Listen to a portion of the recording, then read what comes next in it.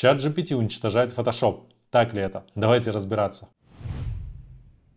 Из чат GPT пропал Дали. При этом появился новый генератор изображений. И знаете, я очень много вижу новостей о том, что это просто пушка-бомба. Я попробовал, потестил, э, достаточно большое количество промптов вводил. И единственный, наверное, момент, который мне больше всего понравился, это момент с генерацией текста. Смотрите, как заявляют сами ребята из э, OpenAI, чат GPT научился создавать на изображениях текст, и это правда. Смотрите, например, вот по такому промпту было сгенерировано вот такое вот изображение. Мне кажется, это очень круто. То есть здесь э, весь текст, он написан именно с помощью чат GPT.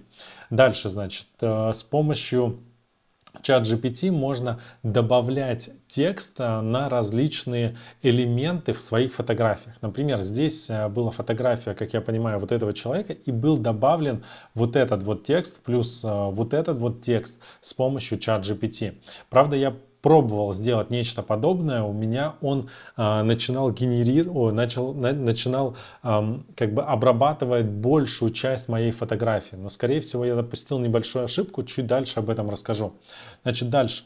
Э, ребята из ChatGPT заявляют, что теперь э, генератор изображения ChatGPT может делать полноценные комиксы, полноценные мемы и все это с текстом вот в таком вот красивом формате. Просто достаточно ввести подробный промпт, э, что должно быть изображено на каждом изображении.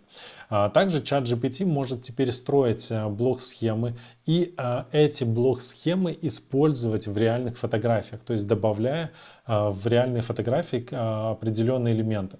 Это тоже. И здесь, смотрите, да, достаточно высокая детализация по тем изображениям, которые они генерируют. Единственное, когда я пробовал это сделать, например, я ему отправил свою фотографию и попросил его сделать из себя сумасшедшего профессора. Я знаю, что многим не нравятся мои э, эти превью и значки на YouTube. Поэтому, э, как заявляют ребята из ChatGPT, что совсем скоро мы будем делать значки на YouTube именно с помощью ChatGPT. Я пробовал, сейчас результаты вам покажу. Значит, сумасшедший профессор был вообще абсолютно не похож на меня. Я ему написал, слушай, сделай э, меня более, более реальным, похожим на меня. Э, например, у меня нет усов, и волосы не седые. Он попытался что-то сделать, но э, получилось, на мой взгляд, так себе. То есть он добавил какого-то чувака, который более-менее похож на меня, и, э, соответственно, добавил эти элементы, которые я у него здесь просил в самом начале. То есть должна быть книга и должны быть минз, минзурки с определенным веществом. Промпт я задавал на английском языке, Хотя он прекрасно понимает и, соответственно, на русском языке.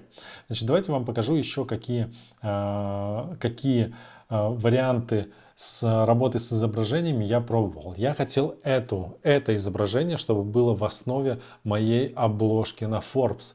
И, соответственно, ввел ему э, промпт, но, к сожалению, чат GPT, э, не знаю, то ли из-за того, что сейчас в нем большое количество как бы загрузок, и все тестят вот эти вот генерации изображений, то ли он слишком много стал опять галлюционировать, но он сказал мне, что извини, я пока, соответственно, не могу использовать э, подобный промпт, то есть я не могу, у меня есть ограничения, я не могу, соответственно, генерировать изображения с а, обложками популярных журналов.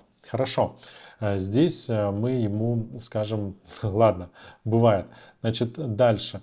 А, значит, что я его еще просил сделать? Я его попросил сгенерировать изображение будущего, 2045 год. А, в принципе, ну, стандартное изображение, хорошая, высокая детализация. А, но какие, и 2045 год был изображен на баннере. Круто, хорошо, Midjourney пока, если не ошибаюсь, поправьте меня, Midjourney пока плохо справляется именно с текстом. Дальше я его попросил сгенерировать, э, ввел достаточно объемный промпт. Э, промпты все, которые я брал в этих и в других своих видео, я беру из своей базы промптов в Телеграме. То есть у нас есть база промптов, в том числе база промптов для изображений на русском, английском языке, плюс шаблоны для N8N и различных, соответственно, сервисов, э, и, конечно же, чат для общения. То есть здесь а, собрана большая а, база именно для работы с искусственным интеллектом и для изучения искусственного интеллекта. Переходите в первом закрепленном сообщении, ссылка, переходите, соответственно, и попадаете в бота, он вам расскажет, как получить доступ к этому AI-сообществу. Значит, я в него ввел промпт а, для того, чтобы он сгенерировал мне обложку для моего сайта по AI-копирайтингу. Вот что он мне сгенерировал. Мне не понравилось то, тем, что здесь есть э, большая обрезка. Я ему об этом сказал, что сделай изображение шире. Шире он сделал, но, соответственно, проблема не ушла. А дальше я э, что сделал? Я решил подкорректировать изображение. То есть я выделил эти элементы, эти кнопки и сказал, что меня не устраивает э, цвет этих кнопок. Я бы хотел их заменить на красный. И он мне уже сделал лучше. То есть он подкорректировал цвет этих кнопок, он сделал их реально красными и, соответственно, сдвинул текст. Я думаю, думаю, что сейчас, если кидать это изображение в тот же Photoshop, хотя чат GPT так и не стал пока убийцей Photoshop, Photoshop мы все будем пользоваться, я думаю, что они не будут отставать от э, чат GPT, у них э, опыта побольше работы с AI. И, э, соответственно, он заменил все эти цвета в кнопок э, и, пропис... и исправил вот эту вот ошибку, которая разрезала этот текст. Теперь переходим к самому интересному. Я ему скинул свое, свое готовое изображение для YouTube канала. То есть это обложка для YouTube канала. И попросил его, соответственно, мне помочь отредактировать эту обложку. И он добавил вместо меня какого-то странного чувака, и обложка, она совсем не соответствует тем форматам, которые, которые требуют на YouTube. Я ему написал, что необходимо сделать обложку 16 к 9. Э, скорее всего, это тоже не 16 к 9, но э, чувака он этого же оставил, а, соответственно, текст э, сделал таким. То есть мне не понравилась эта обложка. Хорошо, я ему сказал, что необходимо мне сделать вот из этой фотографии, просто ему кинул фотку, с которой у меня с базы фоток для моего YouTube канала, да, с теми самыми странными лицами. И попросил его, соответственно, сгенерировать э, мне на основе этой фотографии э, обложку для YouTube канала, но пока без текста. Вот что он сделал. То есть он э, опять добавил вместо меня какого-то чувака, который чуть, наверное, старше меня и не совсем выглядит как я. Добавил сюда логотип чат GPT, ну хорошо, это было в промте, это было заявлено. Дальше я его попросил э, сделать, э, добавить текст сюда. Чат GPT научился генерировать изображение. Он оставил этого чувака, изменил немного уже на неоновый такой цвет э, сам логотип чат GPT, написал текст. Текст, здесь вопросов нет. Очень круто, да, вот, ну, классный реально текст. Единственное, вот этот чувак, он совсем не похож на меня. А дальше я решил поиграть и попросить его убрать логотип ChatGPT и добавить сюда вместо него логотип Клода. Он логотип Клода почему-то не нашел, нарисовал какой-то цветок.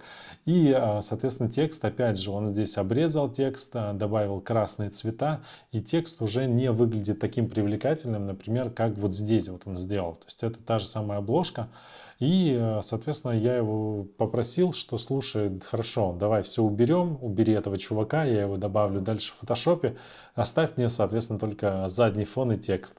Задний фон и текст он не оставил, он э, сделал что-то вообще непонятное. Еще раз говорю, я пока списываю на то, что он может галлюционировать. Это нормально, когда выходит что-то новое в, с GPT, он может без проблем галлюционировать. Также я ему просто отправил свою обложку, но без текста, чтобы он добавил, может быть, какие-то интересные крутые шрифты он сюда добавит. И знаете, просто его попросил добавить текст, как это, это обложка для YouTube. Он вроде бы все оставил, но опять же добавил какого-то странного чувака, добавил текст TikTok агент, хотя здесь, а, ну здесь надпись была TikTok агент, запрос. Остальное все он как бы оставил без изменений. Но вот этого чувака, которого он, которому он режет руку и добавляет во все элементы, ну, не совсем понял. Но я решил поиграться и попросил его еще, как будто бы с телефона вылетают всякие элементы. И он добавил новую руку мне, вторую, и показал, как с телефона вы, вылетают всякие элементы. Интересно, конечно. Дальше я его попросил сделать несколько промптов, он а, не стал это генерировать, он стал искать все это в интернете. Когда же я ему сказал, что мне нужно создать именно изображение, он мне создал вот такого вот вида изображения. Но к тексту вопросов нет. Текст он пишет классно, красиво. Если еще а, попробовать а, рассказать, то есть чуть больше изучить тему шрифтов и чуть точнее говорить, что должно быть изображено на, э, на том или ином изображении, какого текст, примерно какой шрифт должен быть, то он с этой задачей будет справляться круто. Я его также попросил сделать мне шаблон AI-агента на сервисе N8N. Вот что у него получилось. Я не, как бы не понимаю, почему именно так это должно работать. Но по мнению, соответственно, чат GPT и его генератор изображений, это должно быть, это должно выглядеть именно, именно так. В принципе, если подводить итоги, да, мне кажется, еще очень-очень-очень сырая версия. Мне кажется, до фотошопа еще очень-очень далеко. С текстом круто, здесь вопросов нет. То, что убрали Дали, который никто не использовал, ну, по крайней мере, я не понимал совсем Дали, как его можно использовать. Я использовал всегда Midjourney. До Midjourney, конечно, еще тоже далеко. До Дали, э, мы чуть улучшились.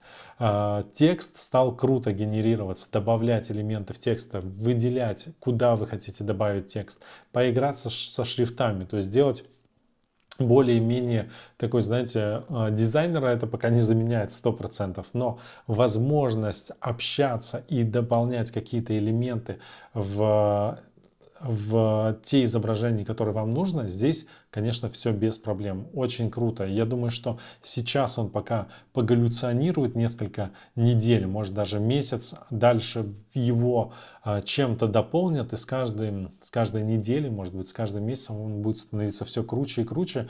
И если меня в один момент будет удовлетворять то, что он делает, вы увидите новые обложки на моем YouTube-канале.